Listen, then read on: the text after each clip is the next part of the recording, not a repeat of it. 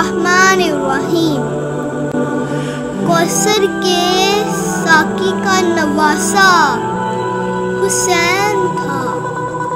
कौसर के साकी का नवासा हुसैन था।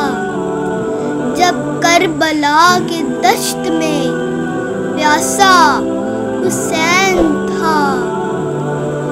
बादल यजीद यजीदियत के थे।